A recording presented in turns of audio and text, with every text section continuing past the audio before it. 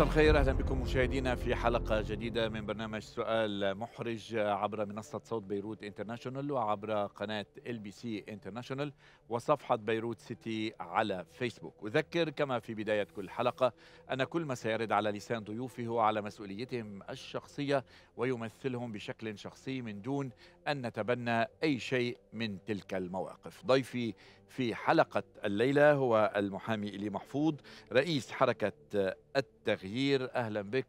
أهلا أستاذ فيك إلي. كيفك؟ تمام. الحال. العالم معود عليك بنبرتك العالية بمواقفك الصريحة آه والجريئة. لما كنت مع الرئيس آه، عون بالتسعين كان هيدي نبرتك. قبل التسعين كمان. وقبل التسعين واليوم آه هيدي هي النبرة ولكن المكان تغير رح نبدأ نحن وياك مباشرة بأول سؤال سؤال محرج بالشخصي.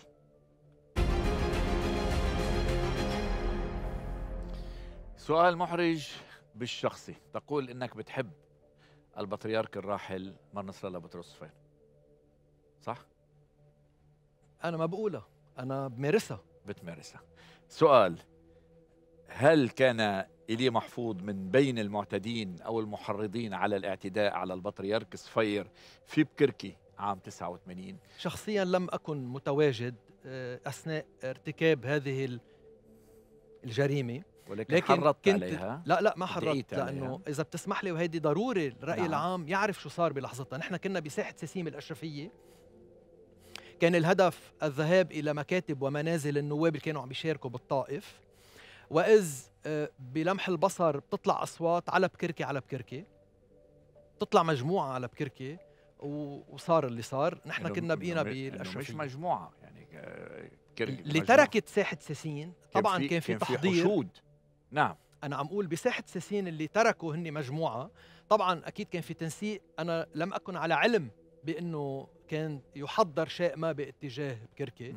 هلأ اللي صار تاني يوم إنه نتيجة التحطيم اللي صار والتكسير والاعتداء يلي والتحطيم أنا والتكسير بضلوا واحد يبلعه توني هلأ عم بس تحكي الإهانة وأنا الإهانة إيه، الشخصية لا لا اللي بس بدي أقول لك هلأ عم تحكي عن الحادثة إيه. وكل ما تنذكر قدامي فعلا من الأمور يلي قليلة بحياتي يلي بتخليني أرجع أرجف من أول وجديد لأنه هذا أمر لم يحصل حتى بزمن العثمانيين. هل لديك الجرأة اليوم إلي محفوظ أن تقول من كان وراء هذا القرار؟ بالتوجه إلى بكركي وإهانة شخص البطريرك والتحطيم والتكسير. أستاذ الموضوع مش إذا عندك جرأة أو لا تملك جرأة. مم. أنت بتعرف وكل الناس بتعرف أنا بقول الأمور مثل ما هي لكن كمان أنا رجل قانون نعم. وأملك ضمير. ما بقدر بيجي بقول إذا كانت أجهزة المخابرات أو العماد عون شخصيا أو ال- ال- الاتماجار اللي كانت حده قررت هذا القرار. لكن الأبشع والأخطر مين اللي صدر القرار؟ هو مين اللي هيأ للاعتداء على البطريرك. مين اللي هيأ؟ اللي هيأ هو تصاريح وكلام العماد ميشيل عون بهداك الوقت يلي كان رافض لسياسة بكركي ونهج البطريرك صفير آه العماد عون والمجموعة السياسية المقربة المقربة منه تنفي لغاية اليوم أن يكون لها أي علاقة بما حصل في بكركي وبتقول اللي اعتدوا على البطريرك معروفين وهن ينتمون إلى آه، فريق سياسي معارض يعني فيه القوات اللبنانية وبعض الأفرقاء السياسيين المناهضين ونحن لا علاقة لنا لا من قريب ولا من بعيد في هذا الاعتداء. حضرتك بهذه الفترة أو بتلك الفترة كنت من الأشخاص القياديين الفاعلين المقررين المنسقين بما كان يعرف بالعونية. اليوم صرنا تيار وطني حر. صحيح. هل توافق إنه العونية نهارها ما كان لهم أي علاقة في هذا الاعتداء على البطريرك مش مزبوط على أو الاطلاق تؤكد إنه كان لهم علاقة؟ أؤكد أنه التيار العوني هو من حرض وشارك وساهم لأنه بعدني عم خبرك رواية حصلت معنا من بعد ما آه، النواب اللي كانوا بالطائف كنا بساحة ساسين العونيين بين مزدوجين ونحن اللي صار اعتداء على إذاعة صوت لبنان ونحن اللي اعتدينا على سيارات بعض النواب.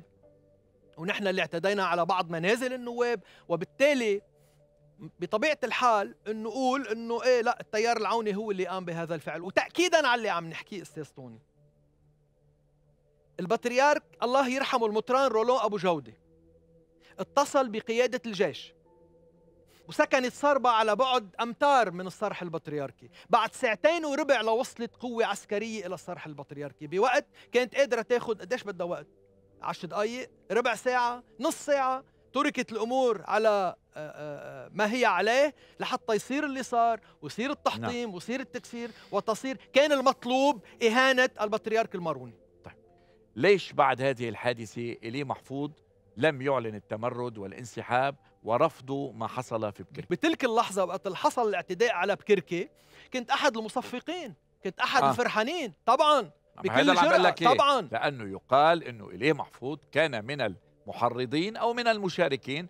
خلينا نلغي اثنين ونختصرهم بالمصفقين. طبعا أنا مش بس مصفق كنت مقتنع بكل شيء عم بيقوم فيه العماد ميشيل عون. أستاذ طوني حدث أكثر من حادثة على مرأى ومسمع مني وبقيت إلى جانب العماد ميشيل عون لأنه مثل شو؟ في جمله مثل شو؟ لحظة. في جملة رح أقول لك أكثر من حادثة مثل شو؟ هلأ بقول لك في. جملة مكتوبة بمر شربل كتير حلوة اسمها شربل سكران بالله.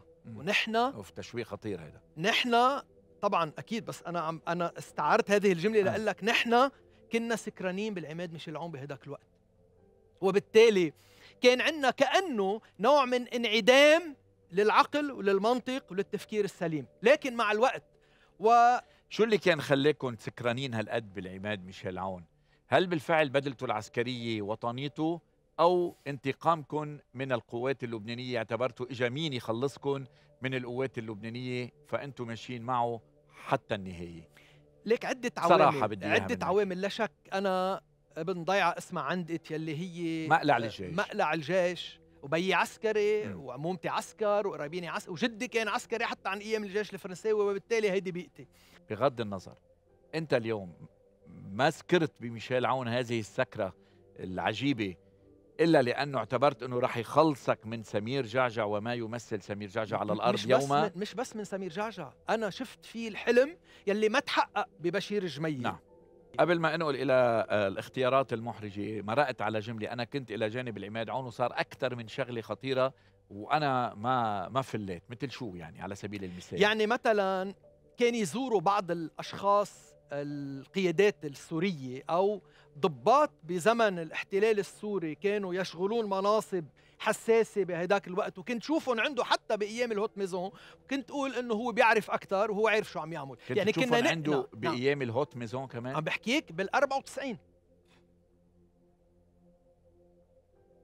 ومع هذا كله بقيت سكران. مش بس هيك في حادثة ما بعرف إذا بيسمح الوقت خبرك إياها. بتأكد اللي عم أقول لك إياه إنه مش مزبوط العماد عون. ما كان مع السوريين. عدا عن إنه الرسالة اللي بعتها لحافظ الأسد مزبوطه واللي هذه أنا الرسالة؟ ذكرتها بكتاب أنا ذكرتها بكتابي إيه خديعه بس العصر. ولكن ولكن كثير كثار بيقولوا إنه هذه هذه خبرية مفبركة. طيب إذا إذا الرسالة خطأ الصور خطأ صوره بسوريا علي أصلان ومصطفى طلاس وعلي دوبا وحكمة الشهابي و...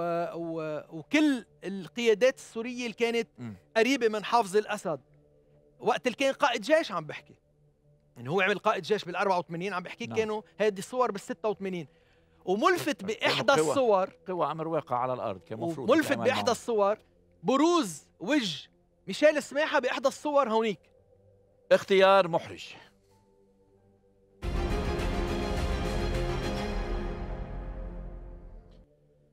أول اختيار محرج. رح نشوفه نحن وياك سوا.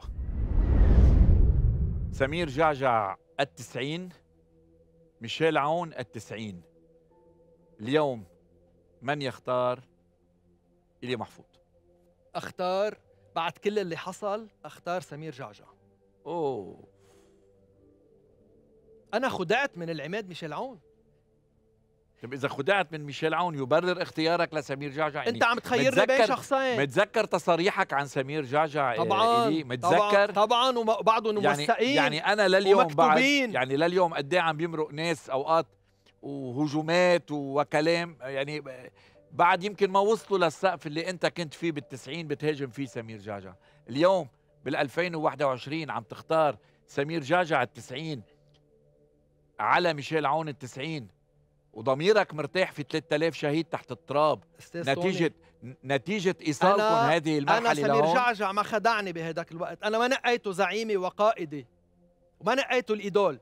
أنا نقيت شخص رفع شعارات إنه هو ضد الاحتلال السوري أنا ما وكان عم فاتح بحكي- قنوات مع السوريين أنا ما عم بحكي على خديعتك. أنا عم بحكي في اليوم أنت من من موقعك اليوم بعد 20 سنة أو 30 سنة بعد 30 سنة عم بقول لك سمير جعجع بال90 وميشيل عون بال90 من تختار؟ الفرق بيني وبين بقية ضيوفك الظاهر إنه لأني عم جاوبك فورا ال- الشخص. لا، لا، بس أنا إنه- جاوبتك بكل أريحية بكل راحة ضمير وبكل قناعة. أختار سمير جعجع لأنه ميشيل عون خدعني بهداك الوقت. يا ريت عندي خطاب لك قديم حط لك في عندي كثير أستاذ سوني موجودين بالأرشيف. المجرمين القتله السفاحين الم- المحششين اللي هجروا الناس. اللي هجروا الناس صحيح. اللي بتتعاطوا مخدرات اللي اللي يعني ما تركتوا صفة. جاي اليوم يعني كيف بدي أنا اليوم اقتنع إنه هيدا الشخص اللي بالتسعين كان ي... كان يقول هذا الكلام؟ اليوم جاي يقول لي أنا كنت غلطان سوري. أنا بدي أختار سمير جعجع. أستاذ و3000 سوني؟ و3000 شهيد اللي تحت التراب. شو بتقول للي بيكون ملحد ويرتد إلى الديانة المسيحية؟ الملحد اللي بيرتد كنت ما في ملحد. برقبته دم. أنتوا اليوم إذا أنت عم بتقول كنتوا هالقد مخطئين يعني في برقبتكم دم 3000 شهيد تحت التراب في أكثر من 3000 حرضتوا على. قتل على قتلهم وعلى إنهم يتقاتلوا ببعضهم في ناس تهجرت وفي طيب. ناس تدمرت في أكثر. من 3000 شهيد مم. سألتني بكل وضوح وجاوبتك بكل راحة ضمير وبوضوح اختيار آخر 13 تشرين 13 تشرين هذا اليوم المشؤوم على الكثير من اللبنانيين. السؤال هون بده جرأة. إلي محفوظ اليوم بيعتبر إنه كان مفروض تصير 13 تشرين لإنهاء الحالة العونية بش من الوضع اللبناني أو لم ما كان لازم تصير 13 تشرين؟ أكيد ما كان لازم تصير. هيدي مجزرة على إبادة على يوم مشؤوم على كل حدا شارك وساهم بهيدا النهار من قصف لتواطؤ مع السوري لدخول على المناطق الحرة لاعتقال الضباط السوريين. كل شخص مشان هيك أنا بقول مش بس كل لاعتقال الضباط اللبنانيين. نعم أنت لأنه قلت السوريين. اعتقال الضباط اللبنانيين يلي اللبنانيين. اقتيدوا من وزارة نعم الدفاع. نعم لبنانيين بس. وهون بدي أذكر حادثة. رئيس الغرفة العسكرية بهداك الوقت. أو رئيس غرفة العمليات بعتقد كان من بيت فرح بعتقد العميد جان فرح. جان فرح. أجرى اتصال بالعماد إيميل لحود من بعد ما سلموا القياده ميشيل عون الجنرال ميشيل عون.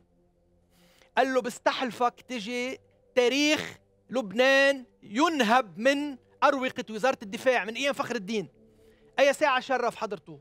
يا بالليل يا تاني يوم. كان بهذا الوقت اقتيدوا الضباط بعتقد عمرو شهاب الله يطول بعمره فؤاد الأشقر فايز كرم كتار من الضباط يلي اقتيدوا وبقيوا بعتقد ما لا يقل عن 8 أشهر بالسجون السورية. وبالتالي هذا يوم مشؤوم ملعون لابد من فتحه يوما ما. وبعدنا لليوم عم نعاني من المعتقلين بالسجون السورية. بمقدمهم راهبين أنطونيين بعدهم لليوم أخذوهم بالبيجامات من ديرهم دير القلعه ببيت مري لماذا لا يطالب الرئيس عون اليوم بهؤلاء الأشخاص؟ بعتقد؟ بعتقد ال deal يلي عامله مع النظام السوري. deal؟ deal الصفقة آه، يعني أكثر من deal. deal هي اتفاق صفقة أخطر. آه، بتمنعه وتسحب منه الجرأة ببحث تفاصيل المعتقلين ال 622 بالسجون السورية. وهون وصلتني على نقطة بدي أقولها. هذا الملف يلي قضى مضجعي وجعلني أبتعد عن العماد ميشيل عون بآخر لقاء ب 26 آب 2005 شو صار بهاللقاء؟ كان آخر لقاء أنا وياه. ليش؟ لأنه طلع على الجديد بتذكر وقتها وقال عم تسأله بعتقد صحفية إنه آه، شو بالنسبة للمعتقلين بالسجون السورية؟ قال له وقتها نحن ما عندنا معتقلين. وسألته قال لي إيه التيار الوطني ما عنده معتقلين. قلت له ما كان في تيار وطني. طبعا هيدي اللحظة قد أعترف اليوم واقول لك يمكن الروح القدس أعطاني هيدي القوة بلحظتها إنه ابرم ظهري وامشي وتبلش المسيرة الجديدة. اختيار آخر. الحرس الثوري الإيراني جيش لبنان الجنوبي المتعامل مع إسرائيل والذي يتهم بالعماله من تختار؟ جيش لبنان الجنوبي. لبنانيين إيرانيين. أختار ما هو ما هو اللبناني المتعامل مع عميل العدو لبناني إيه. يحمل هوية لبنانية. يعني تخبرك شيء. هلا في مفارقة خلينا نحكي آه، بلسان مجموعة كبيرة من اللبنانيين. أنت تختار مجموعة تعاملت مع إسرائيل لاحتلال لبنان على مجموعة غير لبنانية ساهمت مع لبنانيين لتحرير لبنان من الاعتداء. كيف بدي أبرر لك هذا الشيء؟ هلا حضرتك عم بتقول ساهمت بتحرير لبنان. نعم. هي هي يعني- وجهة نظر.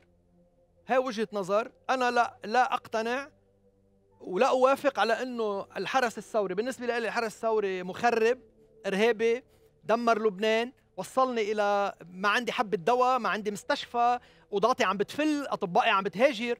جيش لبنان الجنوبي هذا لا يعني إنه أنا مع جيش لبنان الجنوبي بس أنت حطيتني أمام خيارين بين جيش لبنان الجنوبي وبين الحرس الثوري إيراني حكما وحتما جيش لبنان الجنوبي. تعتبر جيش لبنان الجنوبي عميل؟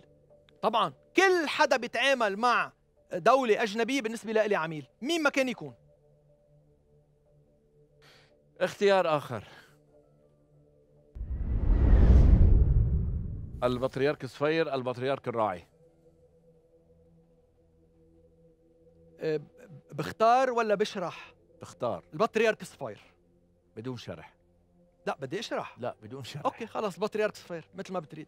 تعتبر البطريرك الراعي اليوم باستطاعته إنقاذ لبنان؟ طبعا. شارل المالك قال يوما ما في خوف على لبنان. إذا دمر لبنان بكركي تعيد بناء لبنان. بس يا ويلنا إذا بتخرب بكركي. وبظل وجود سيدنا البطريرك الراعي. أنا على اطمئنان. طيب. وبنام عم خديتي مرتاح. إنه نحن بأمان. هناك, هناك من يتهم دائما الرئيس آه، العماد ميشيل عون إن لم يكن بشخصه بمن آه، يحيط به. أنه دائما يستهدف بكركي. يعني على أيام البطريرك صفير صار ما صار وحكينا ببداية الحلقة. اليوم بعد إعلان آه، موقف الحياد من البطريرك الراعي شفنا حملة على مواقع التواصل الاجتماعي بتخوينه بتوجيه الإهانات له وما إلى هنالك. لماذا دائما بكركي هدفا ل يعني للرئيس عون أو لما لما لمن يحيط بالرئيس عون جواب بالتحليل المنطقي. بدك تشوف إلى الجهة التي ينتمي إليها إلى الفريق السياسي الذي ينتمي إليه. يعني اليوم مش أنا عم أقول هو بيقول وفريقه بيقول إنه هو مع النظام السوري هو مع إيران وهو مع آه، ميليشيا حزب الله. وبالتالي هول الثلاثة شوف موقفهم من الكنيسة المارونية. بتعرف ليش؟ في دائما تصويب من قبل هذا الفريق باتجاه بكركي. بهالقد بساطة. هلأ عقائديا وفكريا هو بفكر هيك ما بعرف. بس بالمنطق طالما ينتمي إلى فريق يناهض البطريركيه المارونية. هيدا اليوم بالتسعين؟ العماد عون لم يتغير. هيدا اللي هيدا اللي اكتشفته لاحقا ويلي حطيته بكتاب خديعة العصر إنه نحن اللي ما كنا عارفينه للعماد عون دخلك بدي أسألك ما هو الفرق بين إيميل لحود وميشيل عون مع حفظ الألقاب؟ أنا لو طلع العماد ميشيل عون بهداك الوقت. يقول وينهج بذات الأقوال وبذات نهج العماد إيميل لحود. أنا ما بمشي معه. أنا وكتار غيري. اختيار آخر. سؤال. نحن عم بنشوف بيير رفول وعم بنشوفك لك بصورة يمكن هذا بآخر لقاء جمعك صحيح. بالعماد ميشيل عون السؤال من كان انقلابيا أكثر بتاريخه؟ اللي محفوظ على العونية السياسية أم بيير رفول على القواتية أو القواتية السياسية اللي هو كان أحد أركانها؟ يعني في واحد كان قواتي صار عوني متعصب آه، ضد القوات اللبنانية حتى العظم وواحد كان عوني متعصب اليوم صار مت... يعني طبعا نقول متضامن أو متحالف مع القوات اللبنانية بوجه آه العونية اللي كان هو فيها. بكل فخر. من. بكل كان فخر. نعم. وباعتزاز. وما راح أقول الكلمة المستهلكة بتواضع. انقلابي على الحالة العونية بهداك الوقت كان بدها إحنا بنسميها بمجتمعنا الشرقي رجال مع تقديري للسيدات. كان بدها رجال يوقف لأنه أنا أنتمي إلى بيئة برجع بقول لك جيش عونية عائلتي أهلي بيتي قرايبيني محيطي. كان بدها جرأة واحد يقدر يوقف بهديك الفترة. وأنا عنيت مع عنيت يعني هلأ مش وقت نقدر نقعد نشرح شو شو حصل خلال رفول. الفترات الطويلة. ما بعرف ما ب... يعني ما بقدر أحكي آه، شو كيف انقلب لأنه أنا ما كنت عايش بالفترة اللي كان هو. أنا بعرف إنه كان عم يعمل راهب أو خوري. بيعرف فول وبعتقد كان مدير مكتبه لفؤاد أبو ناظر يعني قريتها نعم. بإحدى ال- ال- المنشورات. بس آه، لا أنا انقلابي إذا بدي أسميه الانقلاب يلي هو فيه وعي وفيه نهضة أنا بعتز فيه وبفتخر فيه بعتقد لا كان بدها مرجله القصة وأنا تمتعت بهيدي المرجلة. كمان آه، اختيار. مين بيشبه إلي محفوظ أكثر لما كان مع الرئيس ميشيل عون أو مع الجنرال ميشيل عون بالتسعين؟ ما يخريش وديع عقل لحتى أكد على معلومة بس لحتى ما يساء فهم اللي بدي أقوله. أنا. ال- الشخصين الكريمين ما بعرفهم لأنه ما كانوا معنا بمرحلة النضال. يعني أنا ما بعرفهم صراحة. تعرفت عليهم مؤخرا وقت اللي آه، آه، صار في انتقال هادئ لرئاسة التيار وعرفت إنه تعينوا. المغالاة اثنيناتهم بغالوا مثل ما كنت أنا غالي بهداك الفترة.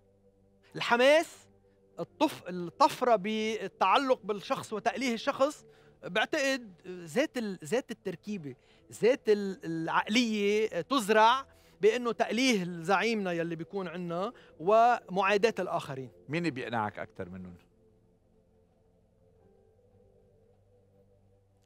بيقنعوني بشو؟ يعني, يعني بتحسه صادق بمحبته لميشيل عون مش يهدف إلى مصلحة من وراء ميشيل عون. هي كتير مهمة. إنه في ناس بتغالي لأنه بدها نيابة بدها حرام, بدها حرام أظلمهم أكثر ما هن مظلومين. هني مش مظلومين مين قال لك مظلومين؟ مظلومين. مظلومين ومعترين و... أوف أوف أوف مين مين مين ظلمون ليك أوقات بتظلم حالك من دون ما الناس تكون لها إيه. آه، آه، مين مظلوم يد أكتر؟ مين مظلوم أكثر اليوم؟ عن جد بقول حرام يعني بشفق عليهم. اختيار أيضا. جوزيف أبو فاضل جان عزيز. صحوة مين بتصدقها أكثر الرجلين ابتعدوا يعني ببلش بأستاذ جان. لو بعده لليوم مستشار رئيس الجمهورية ما كان ليدلي بما يدلي به اليوم. ولو ما كان في خلاف بينه وبين الأستاذ جبران باسيل ما كان ليقوم بما يقوم به اليوم. آه، أستاذ جوزيف أبو فاضل هو زميلي بالمحاماة قريت وسمعت إنه على لسان مسؤولين بالتيار العوني بإنه طلب آه، مواقع أو مراكز ولم يعطى هذه المواقع لذلك يقول ما يقوله. لكن اعتقادي بفكرهم وبعقيدتهم وبانتمائهم بأي لحظة ممكن يرجعوا إلى الحضن العوني. طيب لما لا ما ينطبق على جوزيف أبو فاضل وجان عزيز ينطبق على الي محفوظ؟ لأنه أنا من ال 2006 أستاذ طوني أنا صار صار طيب ماري شو- 14 شو عرفنا 16 شو سنة. كنت طالب بال 2006 مع رائب. رائب. شو كنا عارفين إذا هلأ رجعوا عرضوا عليك شيء ما ترجع إلى ما كنت عليه؟ رح صحح حتى الناس ما كمان تسيء فهم ما ما قيل. أول شيء بهديك الوقت العماد عون بعده راجع جديد. من باريس كان بعده بالرابية. كان مفتح له كل الأبواب. لا لا لا لا, لحظة عم نحكي. كان بدهم كان بدهم رضاه عم نحكي بالعروضات يلي حضرتك عم تحكي عنها. طيب كان في جاي انتخابات نيابية. عمل أول عمل أول انتخابات نيابية وكنت أنا أحد الأشخاص يلي عم يشتغلوا على الأرض بإدن وبأديدن لإيصال أكبر كتلة للعماد ميشيل عون إلى البرلمان. أنا ماروني من عكار وعلى قانون الستين لكون واقعي ومنطقي. يعني شو بده يعمل لي ميشيل عون بهداك الوقت؟ هو بيعرف أصلا بال 2005 ما نزل مرشح بعكار عن المقعد الماروني لأنه بيعرف في بغير عكار ما هو نزل بكسروان إيه، هو اسمه ميشيل عون. طيب.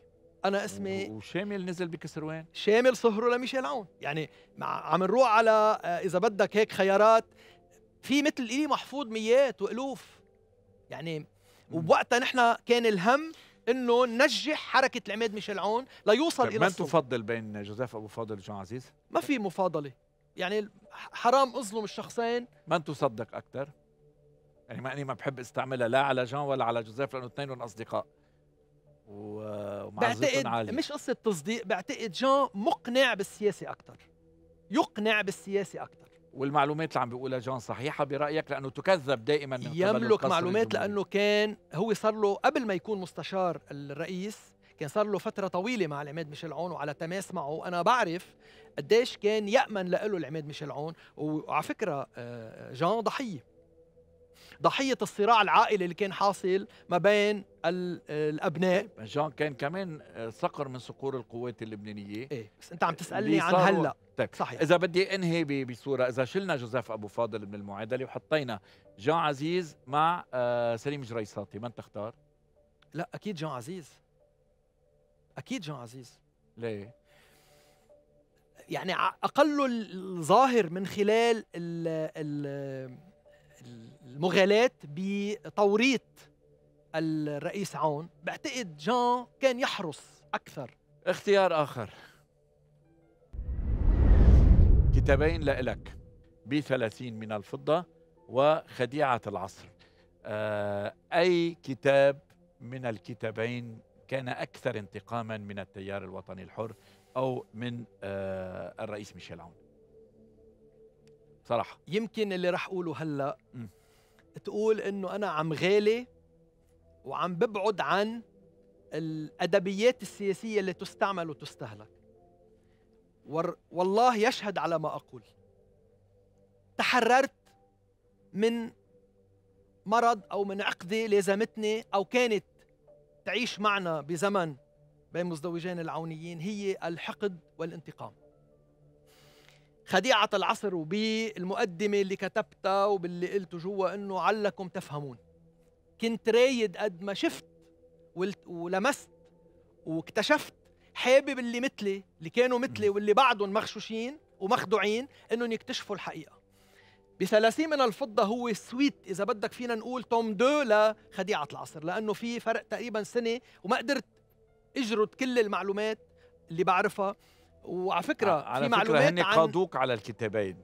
على ال... بثلاثين من ورب- الفضة. وربحوا الدعوى عليك. طبعا مم. طبعا. لما يربحوا الدعوة عليك يعني هذا الكتاب آه، فيه أمور مغلوطة. ربحوا علي في الدعوة افتراء. لا لحظة مش بالمعلومات رح أعطيك مثل. عند قاضي التحقيق أسأل هلأ خلصت ال... خلصت الدعوة وصار فينا نحكي بجلسة التحقيق. أنا ناشر تحويلات مالية قام بها العماد ميشيل عون إلى فرنسا بواسطة أحد المصارف. دعوا علي بإفشاء السرية المصرفية مع أنه المحامين بيعرفوا والقانونيين بيعرفوا أنه السرية المصرفية لا تسري على من هم خارج القطاع المصرفي يعني أنت إذا موظف ببنك كنت سائق أو رئيس مجلس إدارة تسري عليك أما أنا كخارج هذا ال- القطاع لا لوم علي ولا أنت لك حق تنشر حساباتي وتحويلاتي أنا إذا كنت موظف ما لي حق أتق... ب- بقانوني إيه. بس إذا أنا شخص حتى. من خير لا لا لا بالقانون ما حدا له معنا نعم. أنا أنا نشرت الوثائق يلي تثبت التحويلات المالية.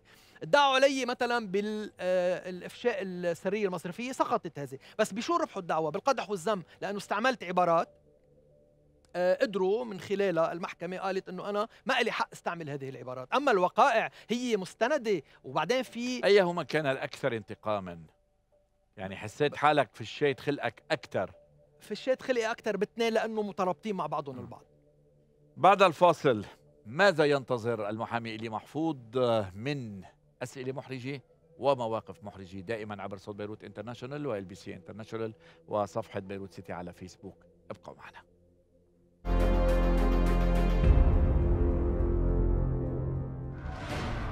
سؤال محرج في السياسة.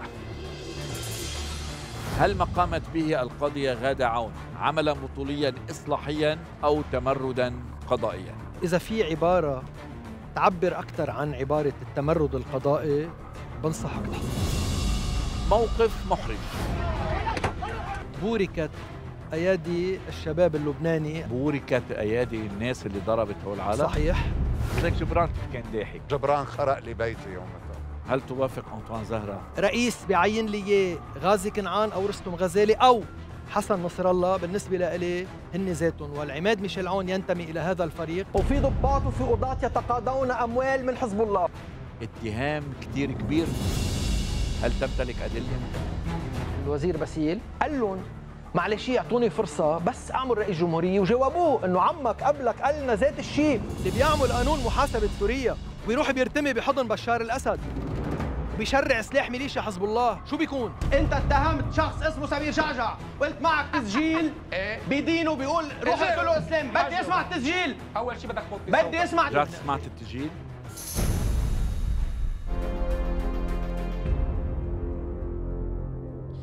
أهلا بكم من جديد. نتابع هذه الحلقة مع ضيفي رئيس حركة التغيير الأستاذ إيلي محفوض. ونصل إلى سؤال محرج بالسياسة ودائما عبر صوت بيروت انترناشونال إل بي سي انترناشونال وصفحة بيروت سيتي على فيسبوك. سؤال محرج في السياسة. السؤال هل ما قامت به القاضيه غادة عون تعتبره عملا بطوليا اصلاحيا أو تمردا قضائيا بغض النظر عن خلفيتك السياسية ونائمتك السياسية على آه، التيار الوطني الحر لليوم. إذا في عبارة تعبر أكثر عن عبارة التمرد القضائي بنصحك تحطها لأنه اقله بالشكل. قبل ما نحكي بالأساس وبالمضمون الشكل أمر يندى له الجبين إنه القضاء اللبناني يصل إلى هذا المستوى اللي وصلنا له. إنه قاضي بياخد محتويات أو مضبوطات بيوضعها بمنزله تحت ذريعة إنه ديبويات عدليت بعبدة فيها نش. طيب شو رأيك أستاذ توني؟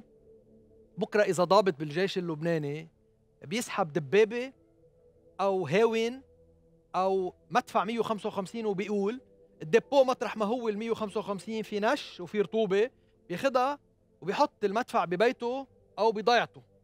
هذا شو بنسميه؟ طيب هذا الأمر ينسحب على كل مؤسسات الدولة. إذا في مثل هذا السلوك والتصرف بقيادة الجيش طيب، وبالأمن العام وبأمن الدولة ما يثبت. أنا قريت آه، توضيح آه، وتبرير وما أي. بعرف إذا صادر عن آه، حضرة القاضيه نعم. يقال بالتوضيح بأنه اضطر اتخذهم لأنه dépôt يات أو مستودعات عديت أنت قريتها إيه أنا قريتها ولكن. بنقرأ أشياء كثير نحن على السوشيال ميديا وعم جاوب في حال كان هذا الأمر إيه حصل بس أنا لا يحق لنا أن يعني إنه إنه نحكي عن شيء نحن مش متأكدين منه طيب بالنقطة الأولانية طبعا بالشكل يلي صار التصرف فيه من خلال ما شفناه واللي واللي يندى له الجبين إنه كان منقول لايف على شاشات التلفزيون وما أدراك آه، الخارج يلي نحن بدنا شيء نبين للخارج إنه نحن عندنا إيه شوف- دولة.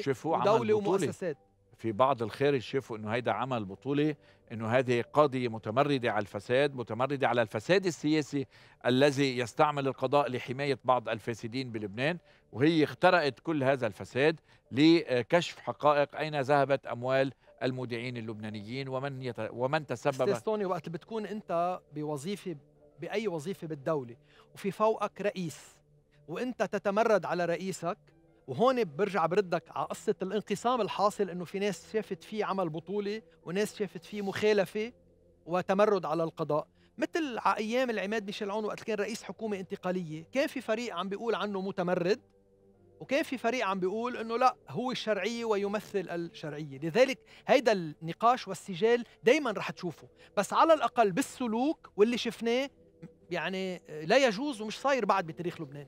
نصل الآن إلى موقف محرج.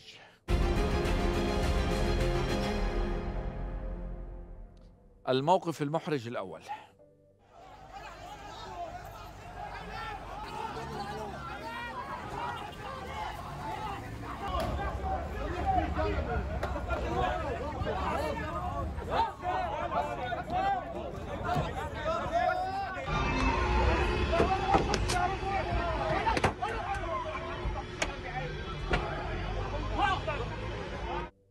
كيف ترى الاعتداء الذي حصل على بعض المواطنين السوريين اللي كانوا رايحين ينتخبوا بالسفارة السورية على آه، أوتوستراد نهر الكلب؟ وشفنا اللي صار.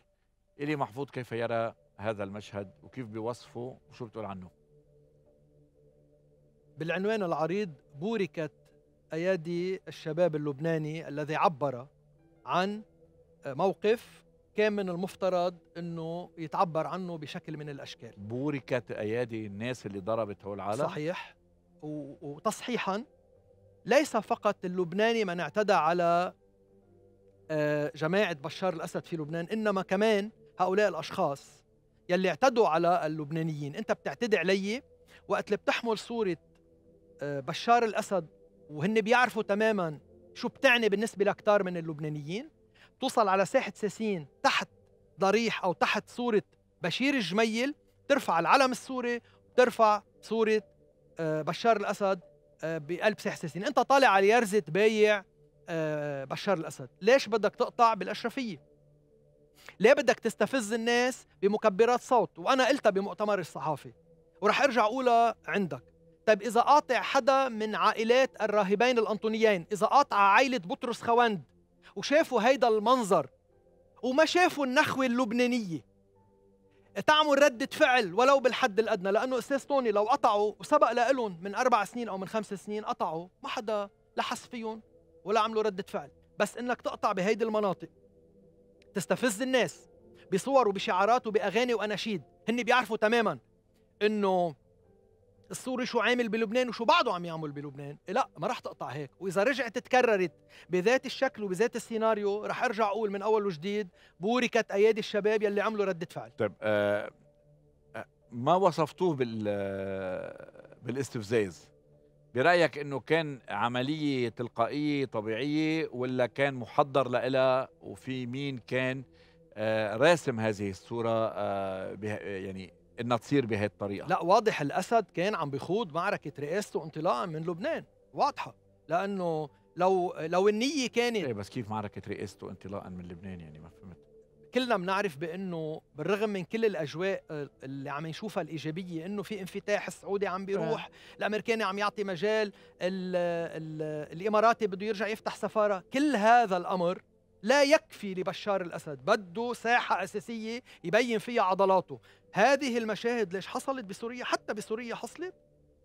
ما حصلت بسوريا. لبنان بالنسبة لهم خاصرة رخوة. معتبرينها ساحة وملعب بيقدروا يستبيحوها مثل ما بيريدوا. موقف آخر.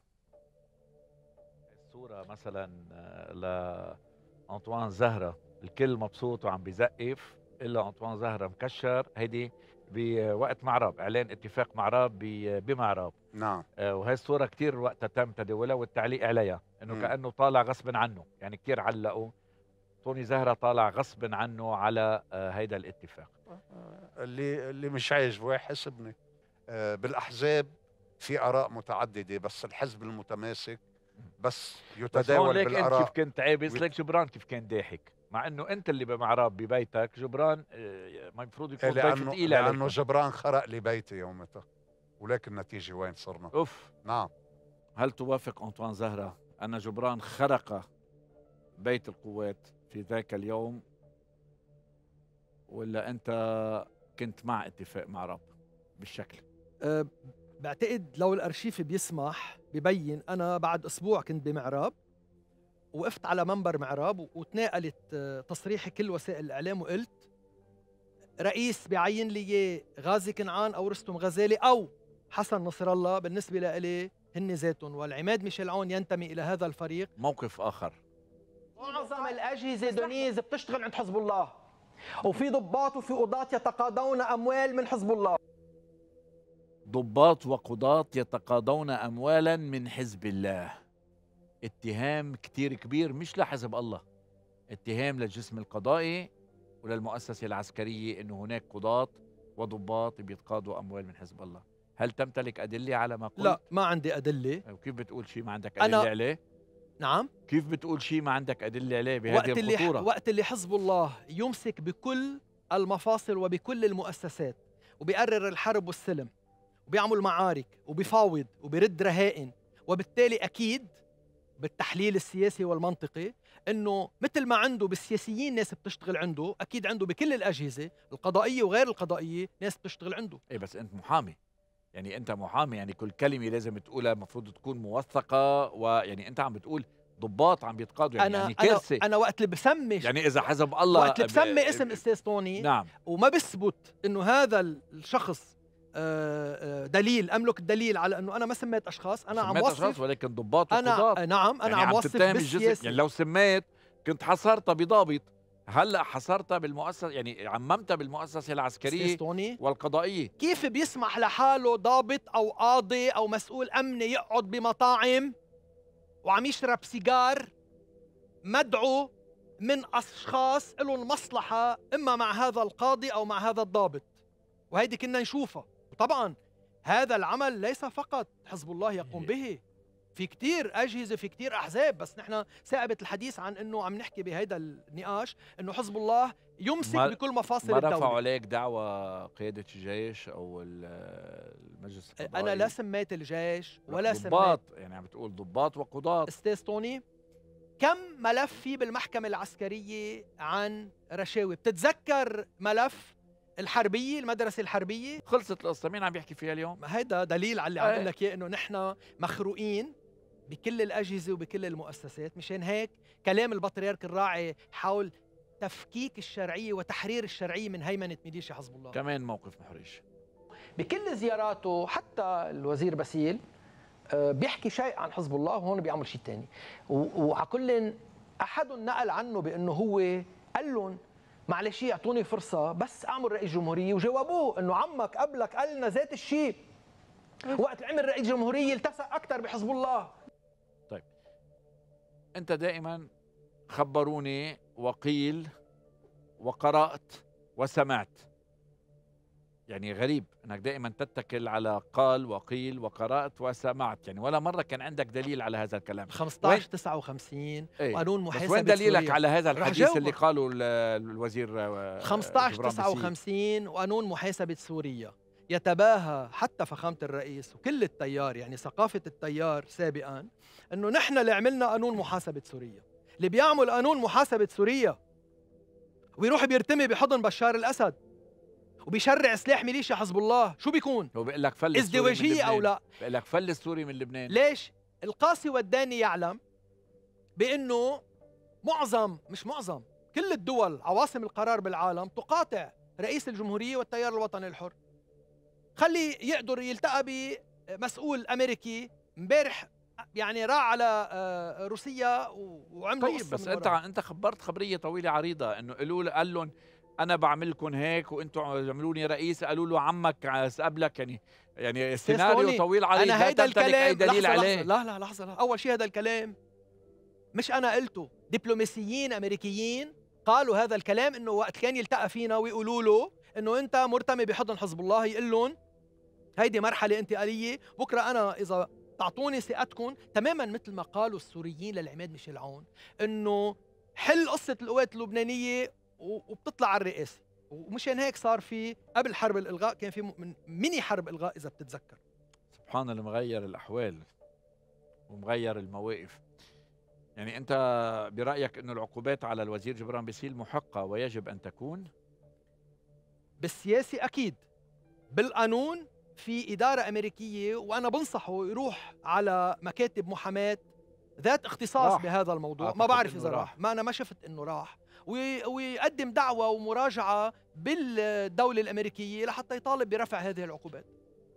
موقف أخير.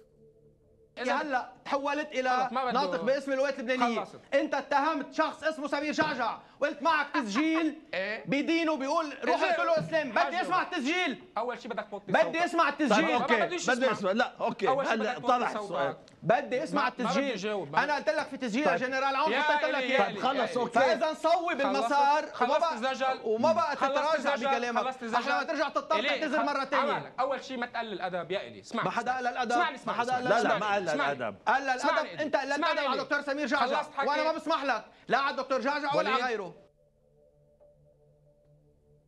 إيه نعم كيف صرت محامي دفاع عن سمير جعجع بدي أقول لك نقطة أنا امبارح العماد ميشيل عون صار معه شغلتين ويمكن ما انتبهت لهم حضرتك وقت اللي كان بإحدى القمم العربية وقع على ال- صحيح. هيدا عملت موقف وقلت عيب على كل مين يشمت كلنا رح يجي نهار نكبر ويمكن آه، آه، نوقع. فقدروا وهذا الأمر أمر معيب. وقت اللي أخطأ بلفظة فجر القرود نعم. نعم. بتتذكر. كمان صار في تهكم وكتار عابوا علي هذا المو... إنه عم تدافع. الموضوع ما له علاقة بالدفاع له علاقة بالأخلاق.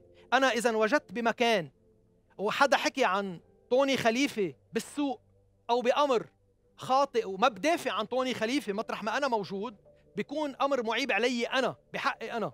وطبعا إذا تعرض دكتور سمير جعجع لأي اتهام وأنا موجود وما دفعت هيدي من شيمه وهي من طيب عاداتي رجعت سمعت. التسجيل لا ما بعد تسجيل ما ولا مرة يعني ما في هو عم بيقول إنه دكتور سمير جعجع حرض على إنه قتلوا مسلمين. لا أنا سمعته واصلا مش موجود هذا التسجيل بس سالم بيأكد إنه موجود